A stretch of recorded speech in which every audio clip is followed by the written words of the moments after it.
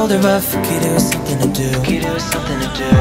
Yeah. It's just me, myself, and I. So I'll ride until I die, cause I got me for life. I hate you. I love What is up, guys? 2016 has been amazing. YouTube, if you guys are watching this video, this is not really for you, but family, friends, this video is for you. Um, 2016 has really been the biggest changing point in my life. I've spent almost 19 years in Rhinelander, Wisconsin, and moving to a bigger city that I have no clue how to live in and relearning everything and just all the support, the constant, you know, you can do it, the constant, just everything. And, you know, when I'm down, people just push me right back up and tell me that I can keep doing these things and that my dream is possible. And I thank all of you, really. Um, I really do. Uh, family, friends. Uh, there's some people that supported me in summer and, you know, before the move. Kim, Parrish, you guys, you know, you helped me through it. Derek, Tristan, Kyle, Travell, you guys have been by my side for the last four years, and I can't tell you enough how much I appreciate it. Mom, Dad, you guys supported my editing back like three years ago when it was just garbage Call of Duty editing. And to think that that little editing, that little experience turned into going on to five shoots, going to a professional uh, program in college and actually doing the stuff that I wanted to do for the last couple years is just insane. I thank literally everyone. I thank my uncle and Sai for the majority of the things because without them moving out here, living out here, surviving out here would not be possible. Let's take it back to June. So in June, I graduated Rhinelander High School. I had all my credits and I finally completed one of the many life goals that our society sets up for us. Graduation came along, which was my proudest moment I've ever had because if you knew me in high school, uh, I was not a fucking academic achiever at any point. You know, C's, B's, maybe you know A's in the classes I really enjoyed. Um, but I, I didn't really enjoy it. So when it came to actually graduation, it was a realization that this was uh, a moment turning point where I did something.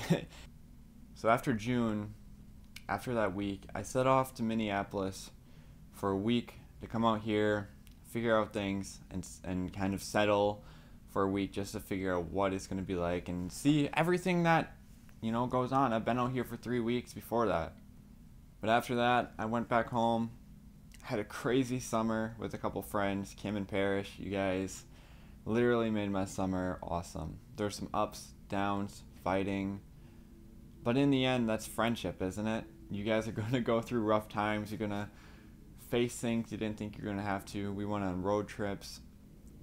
We, you know, went over to Parrish's. We longboarded. We laughed. We cried. We did everything. And Kim, especially, you were the helping deciding point in probably one of the most stressful times of my life. If you guys did not know, I ended up quitting the Rusty Nail in early July, or no, late June. And uh, I came to her after a road trip.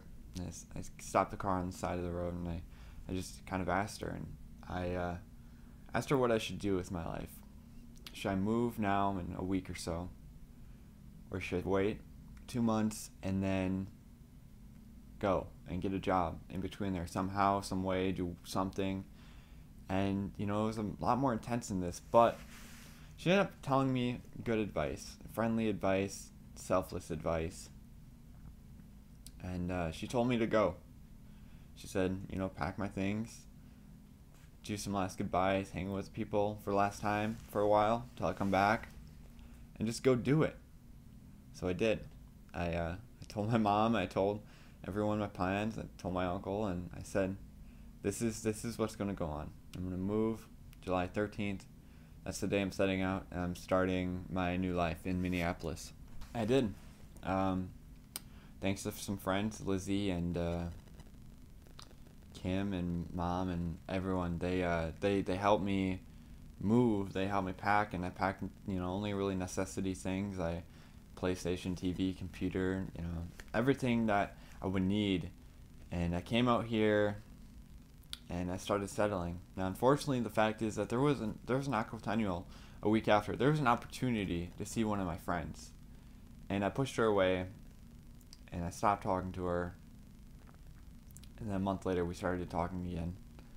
And then eventually I told her, you know, we uh, should just go do our own lives. And she said, I'm not going to come back in, in and out of her life. And it, it was Kim. And, you know, I still respect her, her words to this day, and I don't. I want her to go do her college life, go do her thing. I'm to do, go do my film life. Because my, my film life, it's not school. I'm to tell you that. It's not school. Audio is not school. It's, it's, a per, it's a lifestyle, guys going to sleep at 3 a.m., waking up at 6 a.m. It's crazy. However, I've been on five film shoots today.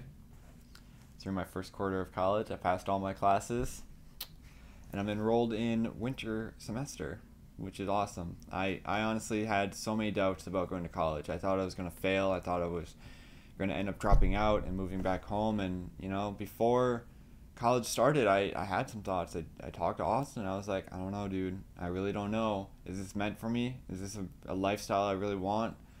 And I just had a lot of things going through my head. And he's like, you know, he, he told me he, he believes in God and that it will all figure itself out and he'll look out for you and whatnot. And in certain aspects, I'm not very religious, but I do believe someone is looking out for me about a week, about a month later, after I moved out here and not having a job, I applied at places.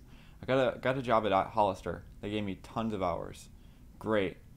And then as you know, school started, and this started slacking. And then just recently, I put in one application, one application, and I got a job at Toyota.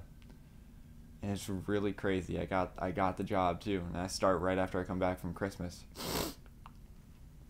for about three months, I was probably the saddest person um, until school. No, not three, two months until school started, and I started talking to people. And right before school, I went on to a, a shoot called Control Delete.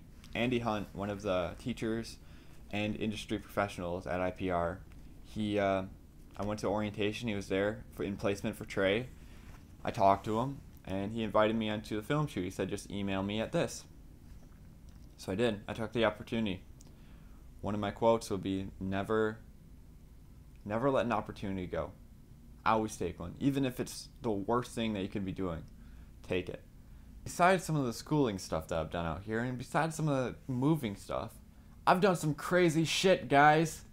Besides the film shoots, I went to a Witt Lowry Watsky concert by myself on First Avenue, one of the best venues in Minneapolis. I went to several other concerts, including Warp Tour. Thank you, Austin and Cody, for taking me. I went to an, an Astronautalis concert, which was fantastic, for free with Austin and Alex for the first time. And Alex, dude, we need to chill sometime. But I've done crazy shit, guys. I'm working on film stuff all the time. I have videos coming out soon. Watch Steller Productions Facebook page. Watch Steller Productions YouTube. Watch my Facebook page watch Instagram, watch anything that I have. Stuff will be coming soon. Until you guys see me soon, or until I make another video for you guys, I'll see you guys later. Thank you for watching the video. I'm Justin Campbell, or Steller Productions. Cue intro.